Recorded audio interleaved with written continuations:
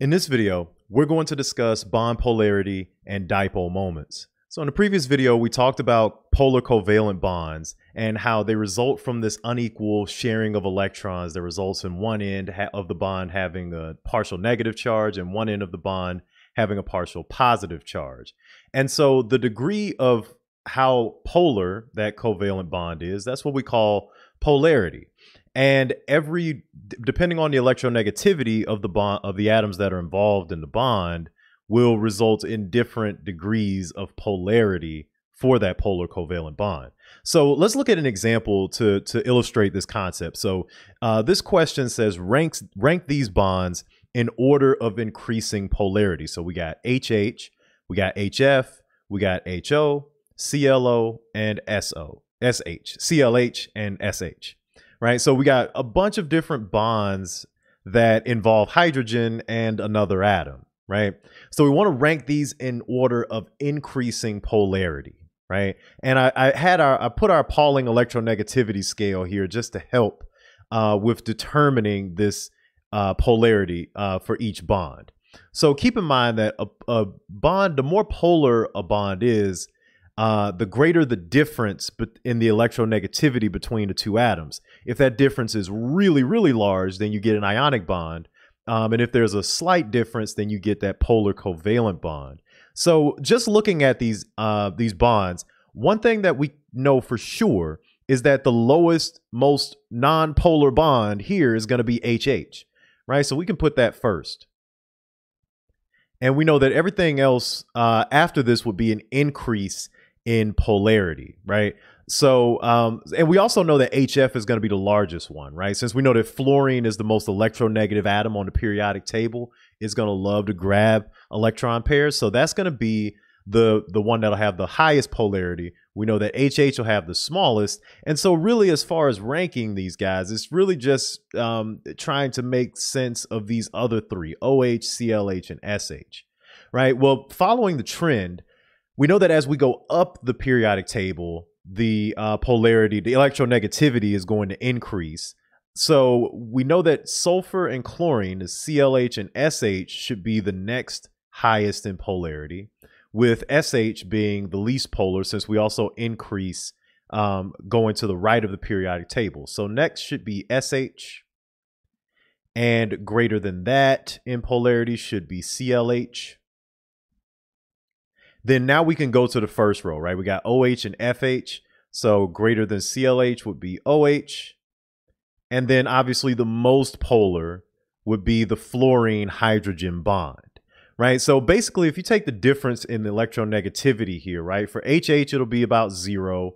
For SH, we take two points, what is that? 2.6 minus 2.2. So that'll be 0.4 as the electronegativity difference there.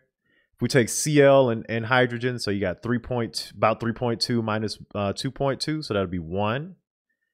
And uh, for OH, right, we got uh, 3.4 minus 2.2, right? So it's going to be 1.2 as the difference. And then for FH, that's basically 4 minus 2.2.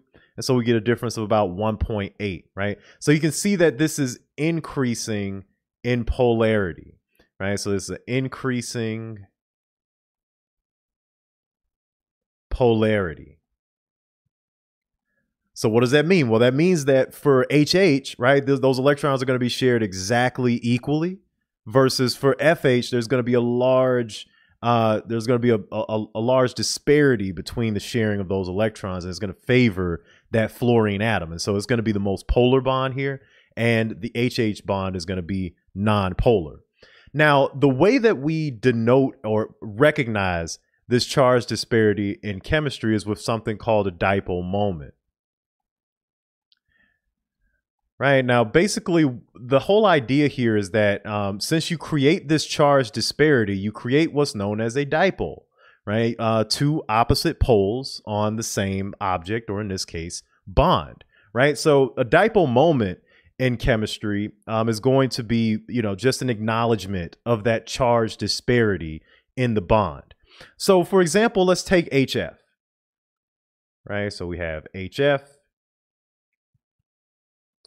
right? What we usually do to denote the dipole moment is draw a little arrow that points towards the negative end of the dipole. So uh, we know that for HF, it's going to have this partial negative on the fluorine, partial positive on the hydrogen. So basically, we draw this little arrow where the arrow points towards the the negative end of the dipole, right? So this is the dipole moment. HF is going to have a dipole moment that will point towards the fluorine atom. Now, at this point, we've done a lot of easy examples where there's only two atoms involved, right? Where you've got, you know, just two atoms that are involved. One's going to have the the lion's share of the um, electrons, and so the dipole will point towards that end. But what happens when you have more than one bond? Well, you'll have to make an, uh, you know, an educated determination as far as which point where the dipole is going to point, right? So let's take water, for example. So if we take water, water has the following structure.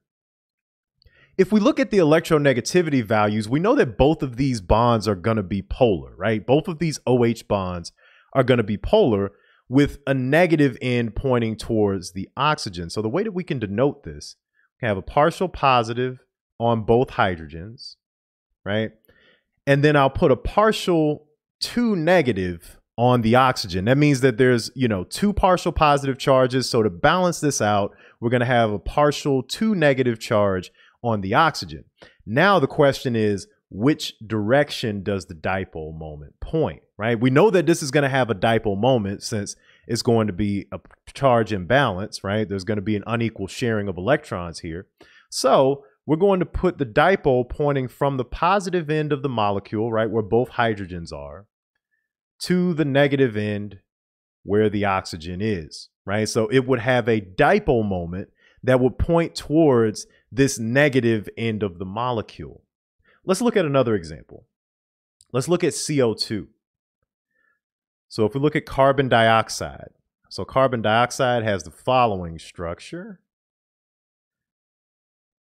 right? And we'll explain later why they have these double bonds, but just um, just humor me here for a second. So this is the the structure for CO2. Now, we do have charge disparity here, right? Oxygen is going to be more electronegative than carbon.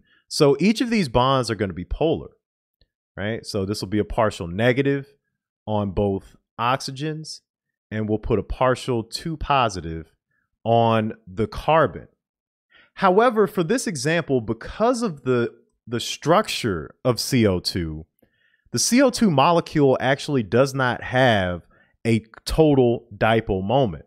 Each bond is polar, right? So you'll have a dipole pointing from the carbon to the oxygen here, and you'll have a dipole pointing from the carbon to the oxygen there. But since they're both both dipoles are pointing in opposite directions, these dipoles are actually going to cancel out. And so we say that there's no net dipole for this molecule. Right? Because they both point in opposite directions, right? So like think about it right like with water, these are both pointing in the same direction. And so you're going to have a net dipole going in that direction. But when you have two dipoles that point in opposite directions, they're going to cancel out and that's going to result in no net dipole for the molecule. So this is going to depend on the orientation of your molecule, the structure, the geometric structure of your molecule, um, but you should be able to look at um, a structure or a particular bond, determine whether it's polar or not, and whether a molecule will have a net dipole moment. So the plots that I'm showing you here are what's known as electrostatic potential plots. So these are electrostatic potentials.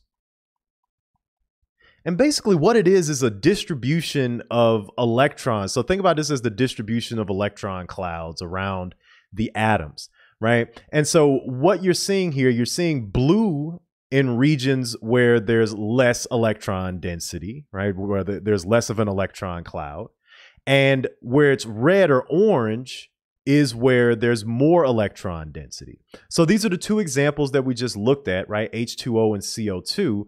You can see that for CO2, very little electron density on the carbon atom, right? So that's where we have that that delta 2 plus, right? And then this these are the negative regions, right? Where you start to see more color. Same thing here for water, right? This part's blue, so very little electron density on those hydrogen atoms. And then you have a large red part where you have a lot of the negative charge, a lot of the electron density sitting at that oxygen atom.